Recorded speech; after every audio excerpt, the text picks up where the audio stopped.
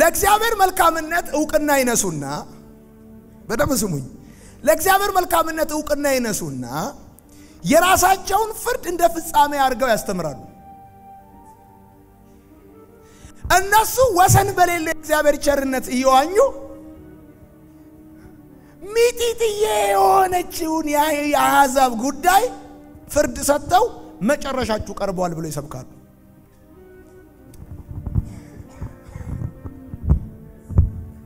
የእግዚአብሔርን ቸርነት እውቅና ነስተው የእግዚአብሔርን ምሕረት እውቅና ነስተው ለራሳቸው ፍርድ ፍጻሜ ይሰጣሉ።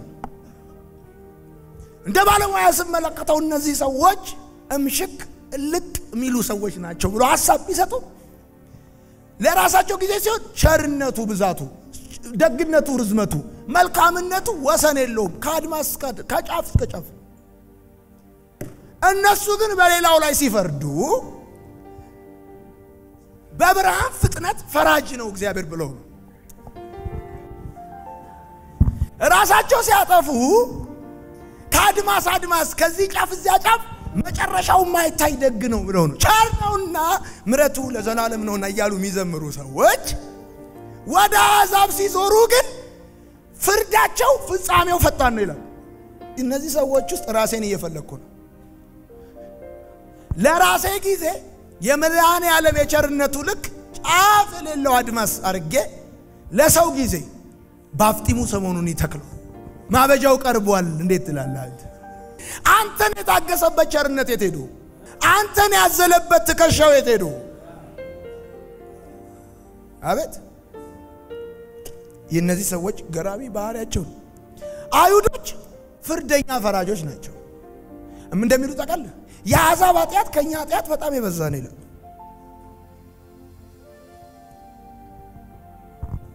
ግን ጳውሎስ ምን እንደሚል መሰላችሁ? የእግዚአብሔር ምሕረት ትኩስ ነው ይላል። ምን ብዬ እንደጻፍኩ ታውቃላችሁ? እኔ የእግዚአብሔር ፍቅሩ ትኩስ ነው አይደለም። ትኩስ ፍቅር ቀዝቃዛ ምሕረት የለውም እግዚአብሔር። የቀዘቀዘ ምሕረት የለውም እግዚአብሔር። የእግዚአብሔር ፍቅሩ ትኩስ፣ ምሕረቱ ትኩስ ነው። አይሁዶች በቶራ መጽሐፍ ላይ እኮ አንድ ነገር ያውቃሉ። ብሩክ እግዚአብሔር ቁጣውን በኃጢአተኞች ላይ የማያፈጥን እስኪመለሱ የሚታገስ አምላክ ነው የሚለውን ቃል ቶራ ላይ እያለ አያውቁትም። ለነሱ የታገሰ እግዚአብሔር ለአሕዛብ እንዴት ነው በኃጢአታቸው ላይ ቁጣ ለማውረድ የሚፈጥነው? በመሰረቱ የእኛም ችግር የአይሁዶች ችግር ይመስለኛል። እኛን በተሸከመበት በታገሰበት ትዕግስት ተመስገን ብለን ሳናበቃ በሌላው ላይ በቁጣው በፍጥነት እንዲገለጥ መጠየቅህ እግዚአብሔርን በትክክለኛው መልክ ያለመገንዘብህ ማሳያ ነው። በመሰረቱ nuclear የ nuclear energy አቤት ማለት ምን ማለት እንደው ታውቃላችሁ? በትክክለኛው distance ላይ ስላለህ እንጂ ፀሐይ ራሷ ኒውክለር ነች። እግዚአብሔር ራሱ በቸርነቱ ላንተ ይህን ያህል right place ላይ ካስቀመጠ ሰውን አቅርበህ የምታቀልጥበት ምንም ምክንያት የለውም።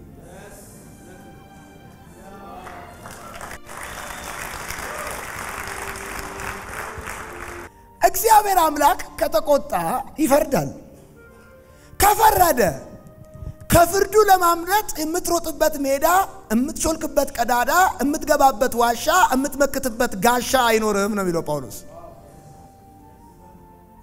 የትኛው ሜዳ ላይ ሮጠ ታመልጣለህ? እግዚአብሔር ከፈረደ የትኛው ዘመድ ጋር ትጠጋለህ? የትኛው ዋሻ ትገባለህ? በየትኛው ጋሻ ትመክታለህ? ዋሻውም ጋሻውም ኢየሱስ ነው። አሜን በል። እግዚአብሔር ሲቆጣ የምትገባበት ዋሻ እግዚአብሔር ሲቆጣ የምትመክትበት ጋሻ፣ እግዚአብሔር ሲቆጣ የምትጠጋበት ዘመድ ኢየሱስ ብቻ እግዚአብሔር ሲቆጣ ማንም ሰው ዘመዶቹ ጋር ገብቶ ሊያመልጥ አይችልም። ሐዋርያ ጳውሎስ ለሮሜ ሰዎች የሚነግራቸው ታግሰው እንጂ በቁጣው ሲገለጥ ሮጣችሁ አታመልጡትም ይላቸው። ታግሶ እንጂ በቁጣው ሲገለጥ በጋሻ አትመክቱትም። ታግሷችሁ እንጂ እግዚአብሔር የትኛውም ዘመዳችሁ ጋር ብትገቡ አታመልጡትም።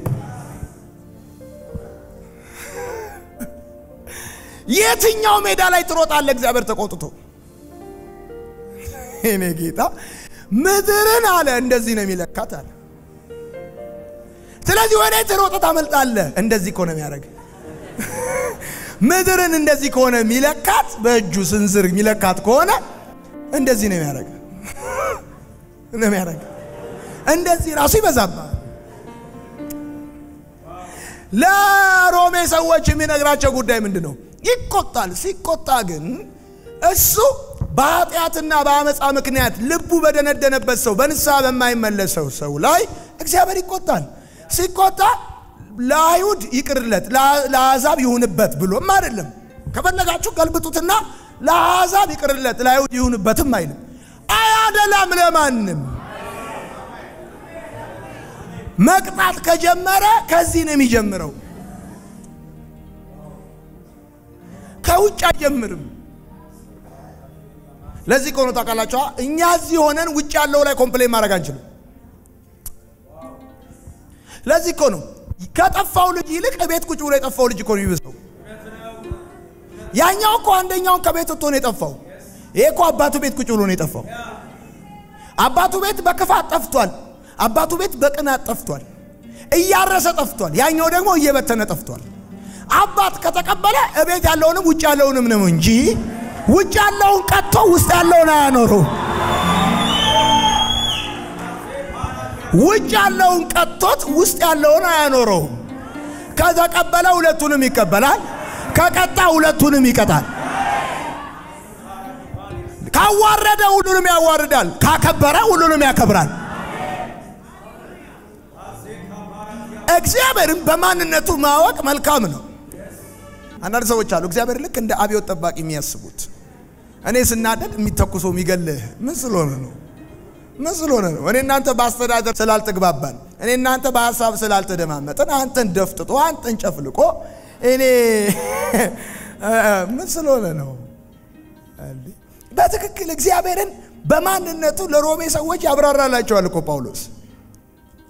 እግዚአብሔር መፍረድ ከጀመረ ሮጣ አታመልጥም ይላል። አቤት ሮጠህ አታመልጥም። የምትንጠለጠልበት ገደል አይኖርህም። ጌታ የምትገባበት ዋሻ፣ የምትመክትበት ጋሻ አይኖርህም። ለዚህ እኮ ነው ዳርክ ተፈጥሮን ሁሉ በቁጥጥራችን ስር እናውላለን ብሎ እነ ፓስተር ተስፋዬ ጋቢሶን በ military ካስክስ አርጎ ከእንቅልፋቸው ሲቀሰቅሳቸው ሰማይ ያያል። እነዚህ ምስኪን ሰዎች ጫማቸውን ሸጠው ከሆነ ወደ ዘመዶቻቸው የሄዱት የፓስተሮችንና የዘማሪዎችን አንገት የረገጡበትን ያንን ጫማ ሸጠው በባዶ እግራቸው ነው እናታቸው ቤት የገቡት። መፍረድ ከጀመረ ያስወልቃል። ማን ያመልጠዋል? ማን ያመልጠዋል? የትኛው ቦታ ሮጠ ትገባታል? እግዚአብሔርን ከፍርድ ባህሪው አንጻር መረዳት ለመልካም ጉርብትና ጥሩ ነው። ለመልካም ጉርብትና ጥሩ ነው። ኃጢአተኛው ላይ ቁጣውን የማያፈጥን አምላክ እስኪመለስ የሚታገስ ነው ይላል መጽሐፍ ሲናገር። እማይመለስና ደንዳና ከሆነ ቁጣውን ከጀመረ by the way የእግዚአብሔር ቸርነትና የእግዚአብሔር ፍርድ በተለያየ account አይደለም የሚኖሩት፣ አንድ ነው account ኡ። account ኡ ከተከፈተ ዝናብን ከመዝገቡ ከፍቶ እንደሚያወርደው ከከፈተው ዓለም ሁሉ ላይ ነው የሚወርደው። ዝናብን እንኳን ካልፈለከው ትጠለለዋለህ። የእግዚአብሔርን ፍርድ ግን ተጠልላ አታመልጠው። ምን ነው እኛን እኮ ብዙም አልበሉም ብሎ ነው መሰለኝ ብዙ ጊዜም አይመታንም። አልተመቻቸውም ብሎ ነው ብዙም አይመታንም። አሜሪካንን እኮ በአመት ሁለቴ በጥፊ ሳይላት አይቀርም። አንዴ በዚህ አንዴ በዚህ ይላትና ካሊፎርኒያ ይለዋል ብሎ already ፍሎሪዳ ልጠፋት ቀርቧት ምናምን ይለዋል። pole ኡን ሁሉ ለቃቅለውት ንፋሱ ዝናቡ ልቅልቅል አድርጎባቸው ቤታቸውን ይዞባቸው ይሄዳል። እኛ በአርባ ዓመት አንድ የሰራናትን ቤት ይዘዋት ሄዱ መቼም አንሰራትም ደግመን። ስለዚህ ሄዶብንም አያውቅም። ይኸው ቤታችን ከሄድንም እኛ እንጂ ቤታችን አይሄድም። ዞሮ መግቢያችን ነው። መፍረድ ከጀመረ እግዚአብሔር በፍርዱ ጻድቅ ነው። አሁን ግን እዚህ ቤት ያለ ወጣት ካለ ከሰማኝ ይሄ እግዚአብሔር እስካሁን ያልደፋ እግዚአብሔር እስካሁን ያልገደለ ይኸውልህ ትዕግስቱን እንደ ቀልድ ተጠቅመ በተጠናከረ መልኩ እሱን ለማስቀየሚያ እንድትጠቀምበት አይደለም። እስካሁን አልቀጣህም ማለት ከአሁን በኋላ አይቀጣህም ማለት አይደለም። እስካሁን አልተቆጣም ማለት ከአሁን በኋላ አይቆጣም ማለት አይደለም። ዛሬ እናት ቤት የገባው ስላልተቆጣ ነው። የተቆጣ ዕለት ግን የትም አገባም፣ የትም ብገባ አታመልጥም። ምን ነው? ምንም። በጣም የሚደንቃችሁ ነገር ልንገራችሁ። ሐዋርያ ጳውሎስ በሮም ለሚኖሩ አይሁዶች ይህም ብቻ አይደለም የሚያጫውታቸው። አሕዛብ አይሁዶችን እንደ አብነት ጠቅሰው እግዚአብሔርን ያናድዱታል። አንድ ጽሑፍ ምን ይላል መሰላቸው? የድሮ ጽሑፍ ነው። እስራኤል ሲሸነፍ በኃጢአት እንደሚሸነፍ ታውቃላችሁ። እስራኤል የሚሸነፈው በጠላቶቹ ኃጢአት ሲያደርግ ነው። ለምሳሌ እስራኤል እግዚአብሔርን ሲበድል ታቦቱ ይማረካል ነው አይደለም? እስራኤል እግዚአብሔርን ሲበድል በጦርነት ይሸነፋል። እነ ኢያሱ ጋር ታስታውሱ ከነበረ አሕዛቦች ቡና እየጠጡ ወሬ ያወራሉ። ምን ይላሉ መሰለ? ምን ነው እስራኤል ተሸነፈ ሲሉ ኃጢአት ቢሰሩ ነዋ ይላል ያኛው።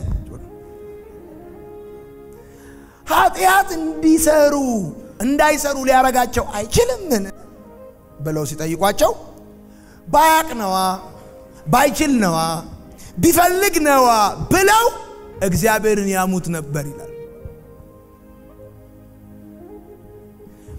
አይሁድን እንደ አብነት ጠቅሰው እግዚአብሔርን ያሙት ነበረ። ለእግዚአብሔር የመሰደብ ምክንያት ሆነው ነበር አይሁድ። በነቢያትና በመዝሙር ላይ ምንድን ነው የሚለው? በየቀኑ የጌታ ስም ይሰደባል ይል ነበር። አድርጉ የሚሉትን አያደርጉምና አታድርጉ የሚሉትን ያደርጋሉና እግዚአብሔር ስሙ ጌታ ስሙ በየቀኑ ይሰደብ ነበር። ዛሬ የጸለይኩት ጸሎት ፍጥረት እኔን አብነት አድርጎ አንተን እንዳይሰድብህ ጌታ ሆይ ብዬ ነው።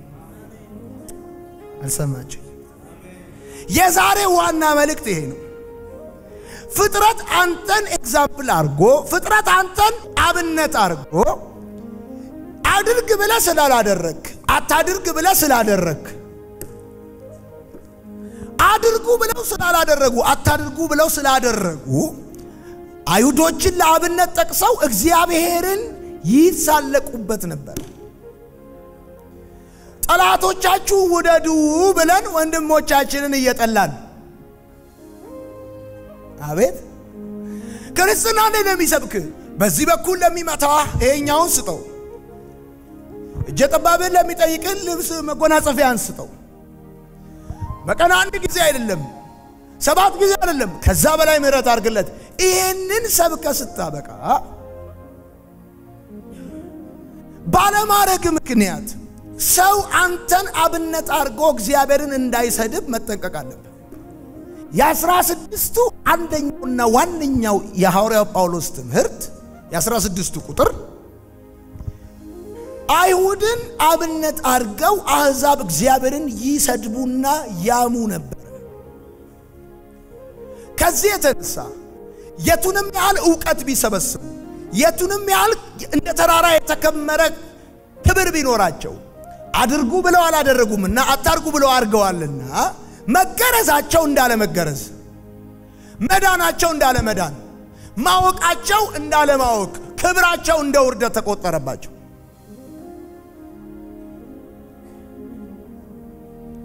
ሁል ጊዜ ሊያሳስበን የሚገባው ነገር ቢኖር የሁኔታዎች አለመስተካከል ሳይሆን ሰዎች እኛን አብነት አድርገው ወንጌልን ተቃዋሚዎች እንዳይሆኑ። እኔን ለምሳሌ የሚያስጨንቀኝ ጉዳይ ይሄ ነው መሆን ያለበት እንጂ እኔን አብነት አድርገው ወንጌልን መቃወማቸው እንጂ እዚህ መካከል አንደኛ እኔን መቃወም አይደለም። እግዚአብሔርን በትዕግስቱና በቸርነቱ አላዋቂ አድርገን ልንስለው አይገባም። ቀንና ሌሊትን በጋና ክረምትን ሲያፈራርቅላቸው እማያቅ እግዚአብሔር አድርገውታል። እማይፈርድ እግዚአብሔር አድርገውታል። የእግዚአብሔር ቸርነትና ደግነት፣ የእግዚአብሔር ምሕረትና ፍቅር ያለ አዋቂነት ስዕል አያሰጠው። ምሕረት የኃጢአት ማበረታቻ አይደለም ብላችሁ ጻፉ። ይቅርታ የኃጢአት ማበረታቻ አይደለም። ሳምሶን ከደሊላ ጋር ይጫወታል፣ ጢሾውን ይበጥሳል። check ሲያደርግ እግዚአብሔር አለ። It's good። መንፈስ ቅዱስ ሲመጣ ያስታውቃል፣ ሲሄድ ግን አያስታውቅም። መንፈስ ቅዱስ አንዴ መጥቷል አይሄድም፣ እውነት ነው። መንፈስ ቅዱስ ሲመጣ ያስታውቃል፣ ሲሄድ ግን አያስታውቅም ብላችሁ ጻፉ። እኔም ማላደርገው ለሌላ ማስተምረው አይኑረኝ ጌታ ሆይ ብለህ ጻፍ። ጠላቶችን ውደድ ብለህ አስተምረ፣ አንተ ግን ወዳጆችንም አትወድ። አይታይም ይሄ ነገር by the way እኮ በጣም የሚያስቅም። ጠላቶችን ውደድ ብለህ ወዳጆችንም አትወድ። አቤት የምናከብረውና የምንወደው ለምድራችን የተሰጠ ወንድማችን ሐዋርያ የተቀባ ምናምን ብለ የሌላ church ሰው ተቀብለ hey man of God ብለ አጠገቤ ያለውን ሰው የሽንኩርት ቢላ ይዛ አንጀቱን ካላወጣው ስትል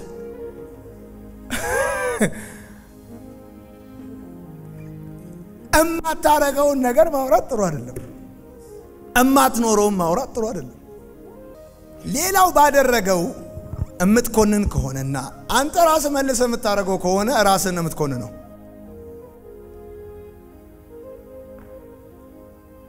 ሌላው ባደረገው የምትኮንን ከሆነና አንተ ራስህ መልሰህ የምታደርገው ከሆነ ራስህን የምትኮንነው።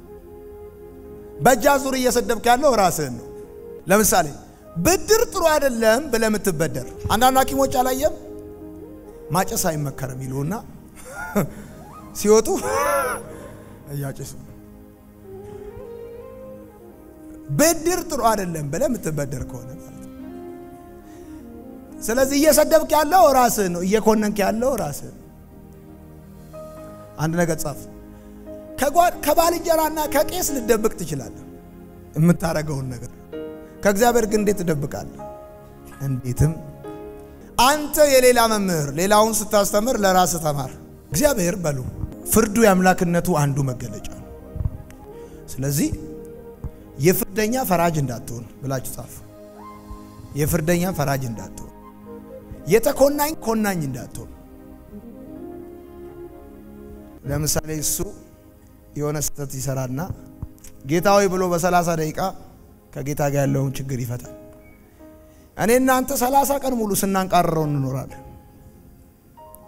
ሰላሳ እውነትህን ነው? እውነት። እውነትህን ነው? እውነትህን ነው። በስማ ሰው የለም እኮ። እውነትህን ነው? ወደዛ። እውነትህን ወደዚህ።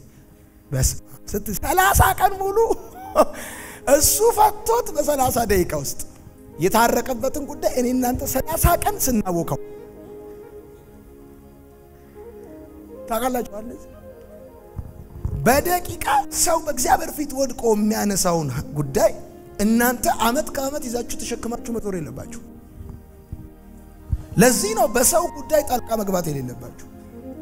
ለዚህ ነው በሰው የማትፈርዱ መሆን ያለባችሁ። ምክንያቱም እናንተ የምትፈርዱ ራሳችሁ አንደኛ እፈርዳለሁ ብለህ ከተነሳ የእግዚአብሔርን ዙፋን ትጋፋለህ። እግዚአብሔር ደግሞ በዙፋኑ የሚመጣበትን ሰው አይፈልግም። የሚፈርድ እግዚአብሔር ነው። በዙፋኑ ከመጣህበት ይጣላል። ሰውየው አጥፍቷል። በማጥፋቱ ሊጠይቀው የሚገባው እግዚአብሔር ሆኖ ሳለ እቀጣዋለሁ ብለህ ከተነሳ እግዚአብሔር ይቀጣሃል። ይህንን principle በትክክል መማርና ማወቅ አለብን። ወደ ህይወት መተርጎም አለብን። በመሰረቱ እግዚአብሔር አትፈርድም ወይ ብላችሁት የምታውቁ ሰዎች ካላችሁ እግዚአብሔር ሳይፈርድ ቀርቶ አያውቅም። ሳይፈርድ ቀርቶ አያውቅም እግዚአብሔር። ስለዚህ ለሮሜ ሰዎች ምን ይናገራቸዋል? የምዕራፍ ሁለት ከቁጥር 1 እስከ 16 ያለው መሰረታዊ ሀሳብ የሚነግራቸው ሐዋርያ ጳውሎስ እናንተ የእሱ ሕዝብ ነን ስላላችሁ ከፍርድ ሁለተኛ ደግሞ በዛው መንገድ በዛው መንገድ ካመኑና በብርሃን ከተመላለሱ አሕዛብም የመዳን መብት አላቸው፣ ጽድቅን የመካፈል መብት አላቸው። ይሄ ብቻ አይደለም፣ በመወለድ የምትወርሱት መንፈሳዊ ስጦታ የላችሁም። ይሄ ብቻ አይደለም፣ ከቀሚሳችሁ ይልቅ ቅንነታችሁን ማስረዘም አለባችሁ። እግዚአብሔር የሚቆጣ አምላክ ብቻ ሳይሆን የሚፈርድ አምላክ እንደሆነ ማወቅ አለባችሁ።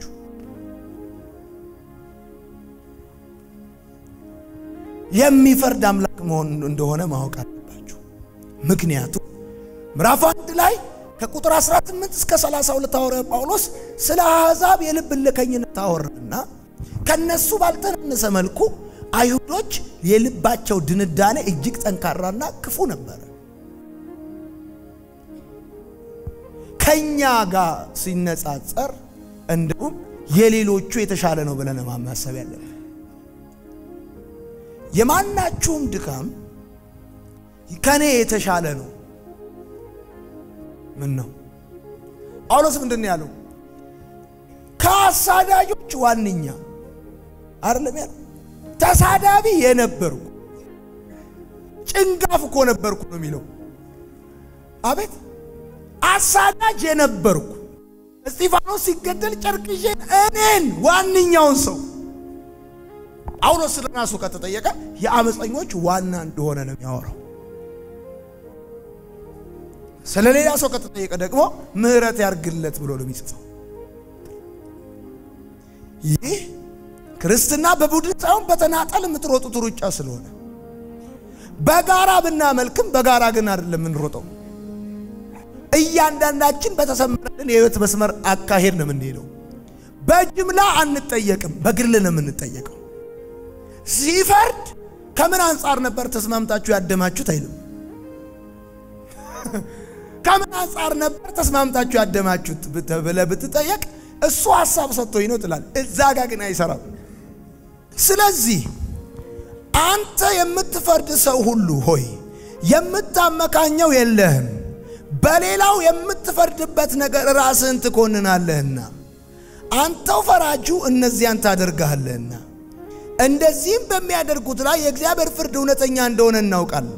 አንተም እንደዚህ በሚያደርጉ የምትፈርድ ያም የምታደርግ ሰው ሆይ አንተ ከእግዚአብሔር ፍርድ የምታመልጥ ይመስልሃልን?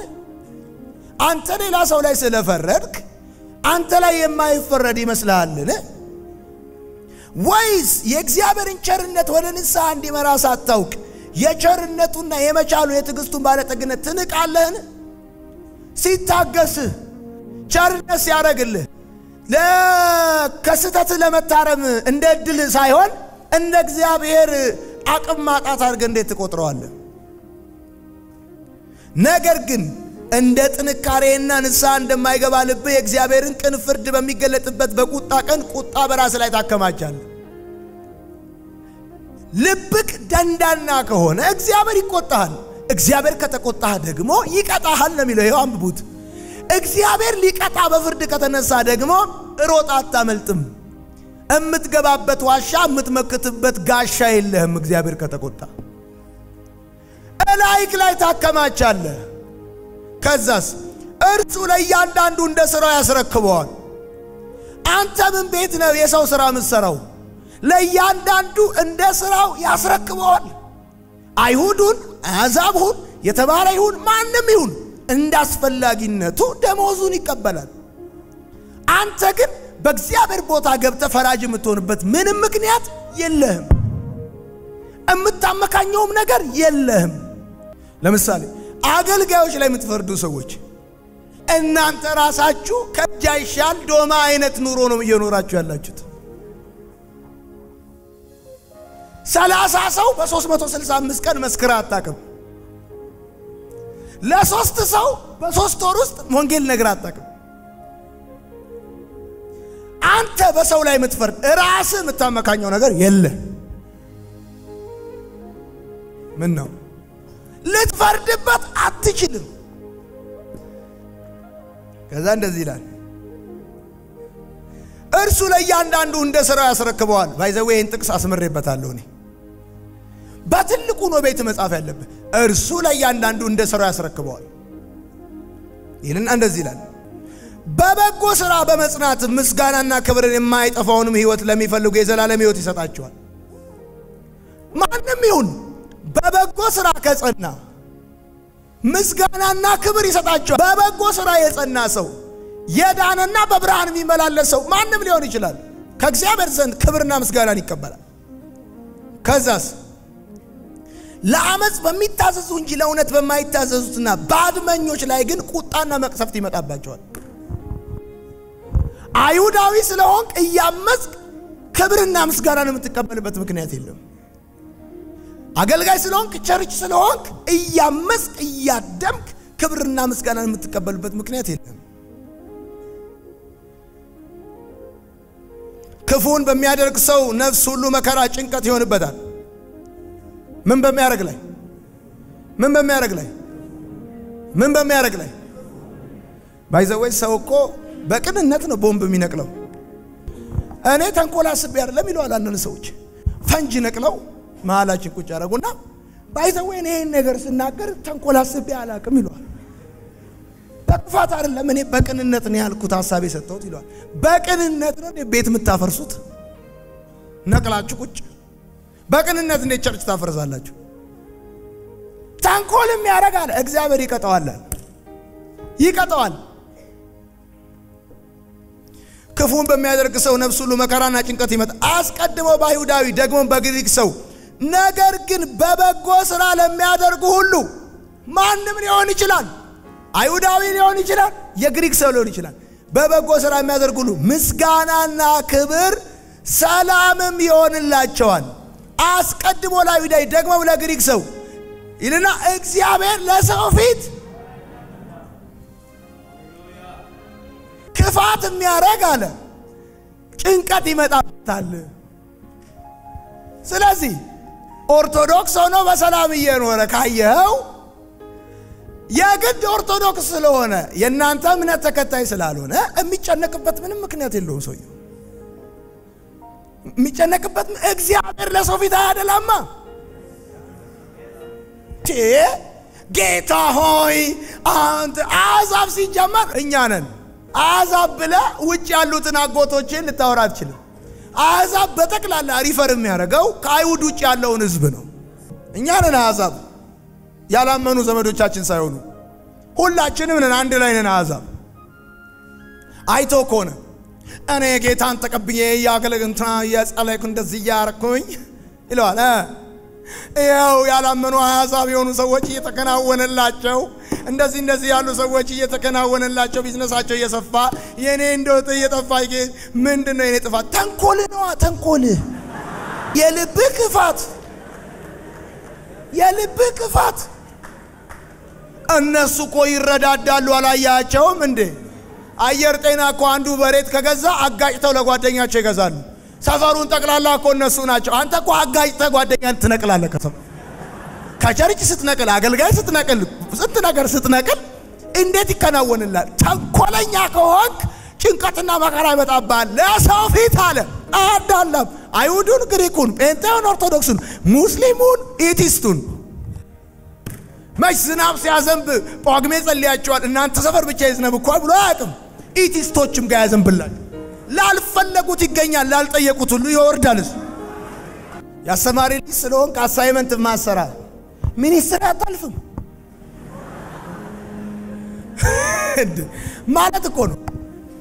አቤት የአንተ አባት ፊዚክስ ጎበዝ ስለሆኑ ማትሪክ ታልፋለህ ማለት ነው እንዲ ስለዚህ አንተ ኢየሱስን እንደ ግል አዳኛ አድርገህ ተቀብለሃል ማለት በመልካም ስራ አትገለጥምና ይሳካልሃል ማለት ነው። ሸርባ ተንኮል ሸርብ ጉድህን ታያለህ። በጣም ብዙ ፕሮቴስታንት የሆኑ ሰዎች ጌታን ሲቀበሉ አብረው የሚቀበሉት ተንኮል፣ አብረው የሚቀበሉት ሴራ፣ አብረው የሚቀበሉት ክፋት ከየት እንደመጣ ኢየሱስ ነው የሚያውቀው። በፊት ደግና ቅን የነበሩ ሰዎች ናቸው እዚህ ከመጡ በኋላ ምን አይነት walking dead የሚሆኑት by the way vampire ደም ለምን እንደሚመጣ ታውቃላችሁ? ታውቃላችሁ? አቤት ፀሐይ ስለማይሞቅ lack of vitamin D ነዋ። እሱ ስለማይሞቅ የሚሞቅ ነው የሚመጣው። ስለማይሞቅ እሱ በጨለማ ነው የሚኖር፣ ወደ ብርሃን አይወጣም። ስለዚህ ያገኘውን ፀሐይ ሟቂ ይመጣል። This the spirit of vampire ይሄ የ vampire spirit ነው። ስለማትሰራ የሚሰራ ሰው ምትመጥ፣ ስለማታገለግል የሚያገለግል ሰው ምትመጥ። ይሄ spirit of vampire ይባላል። የሰው ደም መጠ ቫይታሚን ዲ ከምትቀበል ውጣና ጠዋት ሶስት ሰዓት ላይ ድንጋይ ላይ ተቀመጥ።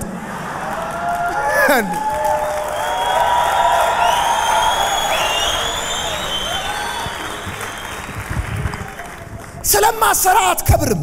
ለመክበር የሰው ክብር የምትመጥ ስለማትሰራ አያልፍልህም። እንዲያልፍልህ ያለፈለትን ሰው ጠልፈ የምትጥል this is spirit of vampire። vampire ለመሆን ውሻ ክራንቻ ማድረግ የለበት። ቫምፓየር የጨለማን ህይወት ስለሆነ የሚኖረው የብርሃንን ህይወትና በብርሃን ህይወት ውስጥ ያለውን ቫይታሚን ዲ ስለማያገኝ exist ለማድረግ የግድ ቫይታሚን ዲ ያለው ደም ያስፈልገዋል።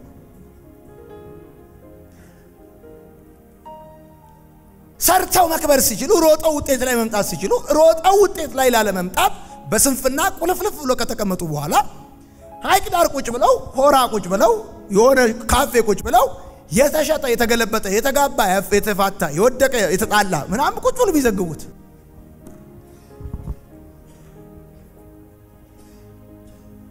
አንድ ነገር ጻፍ። ጴንጤ ስለሆንኩ በል በል በትልቁ ጻፍ። ምንም አይነት መዝሎ ለእኔ የለውም በል። ያደላል እግዚአብሔር መዝሙር ነው። ያደላል እግዚአብሔር መዝሙር ነው። ምንም የሚያደላበት ምክንያት የለውም። ሲያደላ ለእኔ መዝሙር እዛው አንተ ተጽናናበት። በፖሊሲ ደረጃ ስራ ላይ አልዋለም። ምን ነው በፖሊሲ ደረጃ ስራ ላይ አልዋለም። ምንም የሚያደላበት ምክንያት የለውም።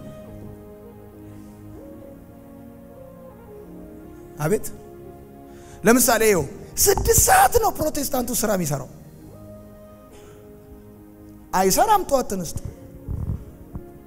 ከዛስ የቤተሰብ መርገም ነው ላሰብር እያለ የቸርች ወንበር ይሰብራል እየመጣ የእኛን ወንበር ከምትሰብር ምንም የቤተሰብ መርገምም አይደለም። አልጋን ስበር ፍል እኔ መፍለጫ ይዘ በጌታ አንተ ነህ ከሰው መጨረሻ ያረከኝ እኔ ከዛሬ በኋላ አልተኛም ብለህ አልጋ መፍለጥ ነው። ማገልገል ትፈልጋለህ። ትንቢት ተነግረዋል፣ ይነገራል። ከዛስ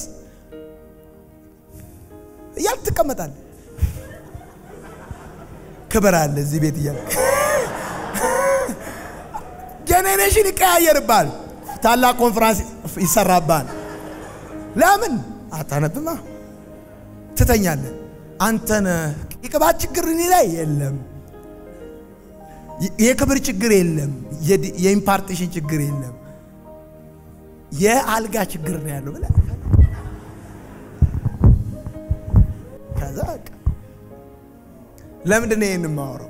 ጴንጤው by the way የተአምራት ህይወት የሚጠብቅ ነው። አሁን የ prophecy life። ለዚህ ነው አንዳንድ ልጆች አመቱ ሙሉ ተከታታይ ፊልም ሲያዩ ቃና ሲያዩ ከርሙና ወይ ስምንተኛ ክፍል የአስረኛ ክፍል ተማሪዎች እርሳስ ይዞ ይመጣል። ምንድን ነው ስል ቃል አውጣበት ይህንን እርሳስ ይልሻል የሰራዊት ጌታ እግዚአብሔር በጥሩ መቅረጫ ቅረጪው ይልሻል። እርሳስ ተጸልዮበት የሚደፍን ቢሆን ኖሮ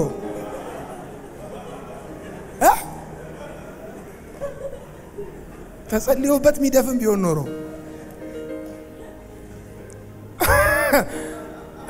አረ እግዚአብሔርማ ጉድ እያየ እኮ ነው ሰሞኑ። አረ እነዚህ ጉደኞች እያለን እኮ ነው። መጀመሪያ በገንዘብ ተጀመረ። መጀመሪያ በገንዘብ መቶ ዘርተ blessing connect እንደዛ የሚባል ታሪክ የለም የሚባል የለም። በ life connect ያላረከውን በ cash ማ connect እንዴት ታደርገዋል? ክላሽ ነው እንዴ? ክላሽ ነው እኮ በ cash የሚገዛው እንዴ? አይሆንም እንጂ እንደዚህ። ከዛ አደገና በጫማ መጣ። የሰው ጫማ ላይ ወድቀህ አዋራ ነው ይዘህ የምትነሳው። ምን ነው? በመሰረቱ ኢየሱስ እኮ መምህር አትባሉ አለ። አቤት መምህር አትባሉ። ምን ልፈልጌ ነው? አደላም እንዲህ አይነት ቴክኒክ ታክቲክ አይሰራም ወንጌል ላይ አደላ። እግዚአብሔር ለሰው ፊት አያደል። አሁን ከአላሙዲ ላይ ነጥቆ ሸራተንን ለእኔ ይሰጠኛል? አይሰጠኝም። በምንም ታምር ከአላሙዲ ላይ ነጥቆ ለእኔ በምን አግባብ ነው ነጥቆ የሚሰጠኝ? ኢንተርኮንቲኔንታልን አሁን ነጥቆ ላንተ በምንም አግባብ አይሰጥ አይሰጥም። ያስፈልጋል፣ መስራት አለብህ። ይህ ትፈልጋለህ፣ በምንም አግባብ ጸልየ እንደው መድኃኔ የተረጋጋ focus concentrate እንድታረግ በመንፈሱ በኪነ ጥበቡ ያደረግ ይሆናል እንጂ ይሄ አታመጣም። እስቲ አመጣለሁ ምትል ከሆነ ይኸው አታጥናና ዝም ብለህ አርባ ቀን ጸልየ ተፈተን። አታመጣም። አያደላም። እግዚአብሔር ለእያንዳንዱ አለ እንደ ስራው ይከፍለዋል አለ። አጥንተሃል፣ ትሰራለህ፣ ይከፈላል። ሀቅ ትሮጣለህ፣ ይከፈላል። ጥፋት አጥፍተሃል፣ ይከፈላል። ግን በሰው ፍርድ በሰው ላይ እፈርዳለሁ ብለህ ስትነሳ የእግዚአብሔርን የፍርድ ወንበር ተጠጋልኝ እያልክ መሆኑን አትርሳ። እሱ ደግሞ ያኛው አጥፍቶ ሲፈርድበት፣ አንተ ደግሞ ወንበር በመገልበጥ የማይገባን ወንበር በመጠየቅ ይፈረድባል። ጌታ ይባረክ። አሚን ነው።